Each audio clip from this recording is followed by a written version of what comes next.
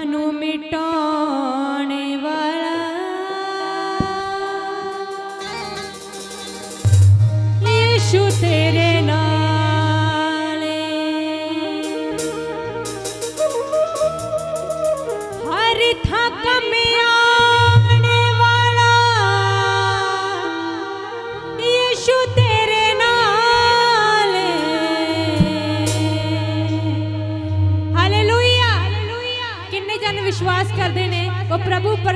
ਸਾਡੇ ਨਾਲ ਵਾ। ਇਸ ਇਸ ਸਮੇਂ ਵੀ ਉਹ ਪਰਮੇਸ਼ਵਰ ਸਾਡੇ ਵਿੱਚ ਮੌਜੂਦ ਵਾ ਜੋ ਦੁੱਖਾਂ ਨੂੰ ਮਿਟਾਉਣ ਦੀ ਤਾਕਤ ਰੱਖਦਾ ਵਾ। ਦੁੱਖਾਂ ਨੂੰ ਮਿਟਾਉਣ ਵਾਲਾ ਯਿਸੂ ਤੇਰੇ ਨਾਲੇ। ਦੁੱਖਾਂ